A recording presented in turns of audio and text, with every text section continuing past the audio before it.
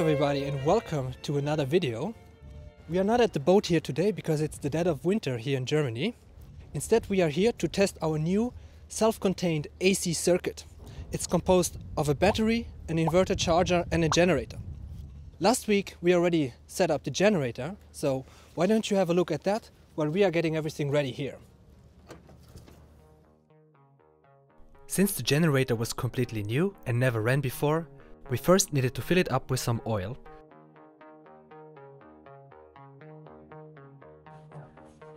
For this we took 15W40 as recommended by the manufacturer.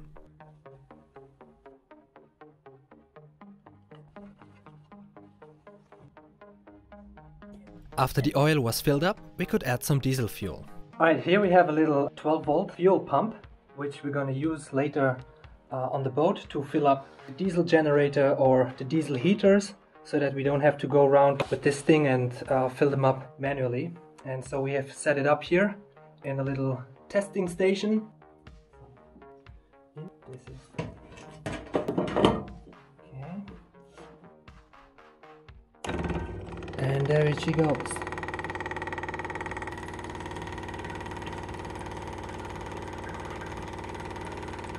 We give it a couple of pulls to let the cylinder rotate and lubricate itself. Next we put it outside for its first start.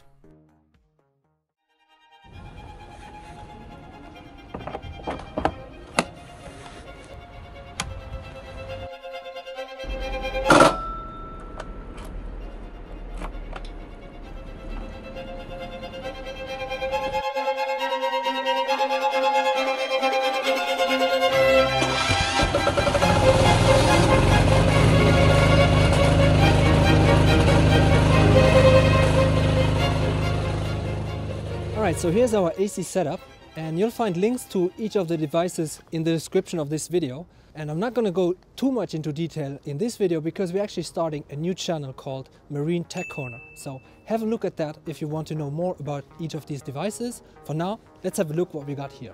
So let's start with our battery. It's a lithium iron phosphate battery set up in a 24 volt configuration with about 200 amp hours capacity. Here on top is the battery management system or BMS, which is like a computer that manages the flow of electricity into and out of the battery. The battery is hooked up to the inverter charger with DC wiring in appropriate thickness. Then on the other end of the system we have our diesel generator, which we'll use to charge the batteries or if we ever need more power then can be delivered by the inverter alone. And then here in the center of our system we have our inverter charger. It's a Victron Quattro 5000 24 volt 120 amps. This will take the AC from the generator, convert it into DC to be stored in the batteries and then make it available again as AC to our loads.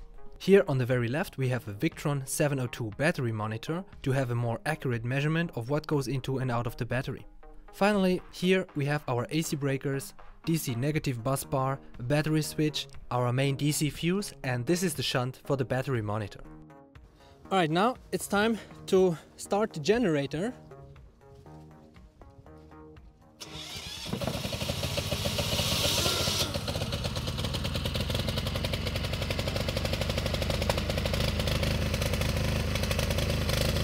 Okay, great.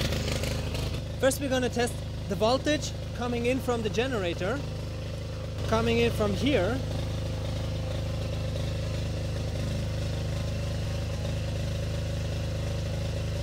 Okay, so we have 230 volts coming in. Next we're going to turn on the breakers. We're going to launch the inverter charger. Oh.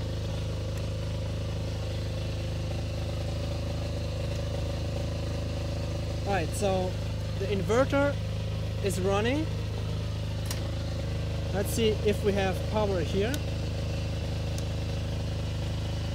And we didn't have power. But this was only due to a loose cable at the back of the outlet. The real problem we had at that point was that we couldn't get the charger to run. It would turn on for a second and then turn off again. After some time troubleshooting, trying different programs on the inverter, which is done by changing the position of 8 tiny dip switches here on the main board of the Quattro. We even looked at the shape of the sine wave of the power coming from the generator. Maybe the issue would be there.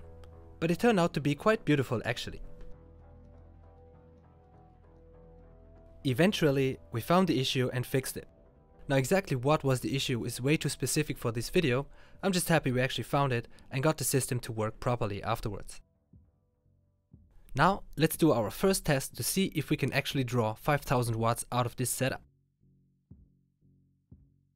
For this we brought three devices. The two hair dryers draw about 2200 and 2500 watts. The jigsaw has an adjustable speed and draws between 200 and 400 watts. Running all three together should get us slightly above 5000 watts. We're using a clamp meter to measure the current pulled by the inverter, which draws about 3.5 amps while at idle. Now let's start the first dryer. Immediately the current draw jumps over 100 amps.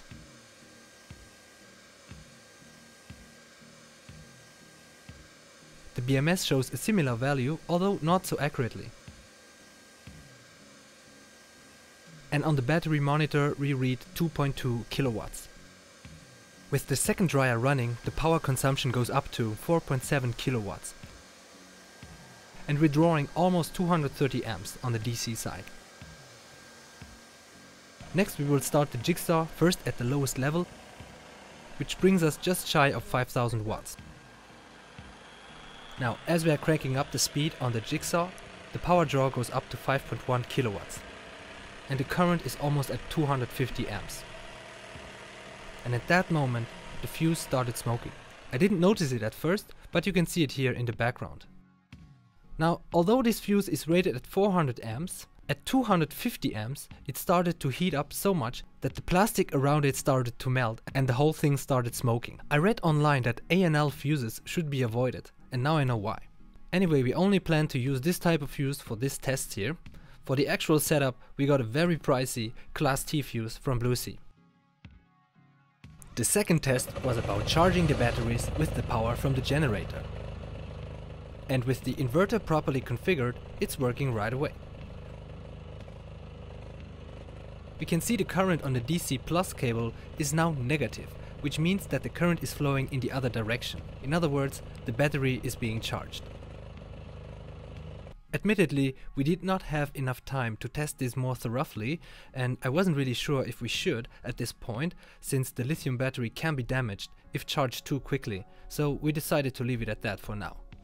The third and final test was to check if the generator is running and we are using our loads, the power would actually come from the generator and not from the battery. We can confirm this because the battery monitor now shows a positive wattage number, which means that the batteries are being charged, as opposed to a negative number as we had before when we were pulling the loads when the generator was not running.